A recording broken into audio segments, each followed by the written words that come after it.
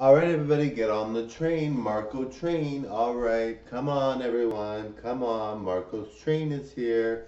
It's arrived and it's fantastic and it's got splendid music and it, it, visuals that are beyond measure and looks and talent and so great, so grand.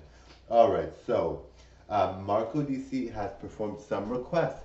He's performed all the requests for you guys. All right, lots of fun there. Now more talk on the Speedo talk, all right? If YouTube proves to me that I can wear Speedos again, then I will. If they don't, then I will not wear Speedos, all right?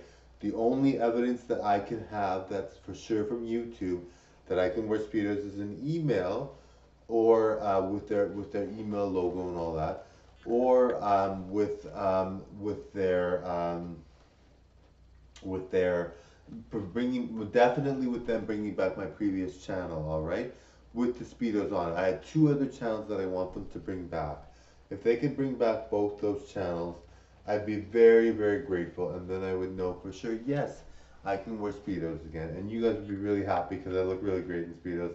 And my body's uh, almost in tip-top shape for speedos again. All right. So it, well it pretty much is i would say it is. Um, Anyway, thank you so much for watching. You guys are really looking forward to my stuff.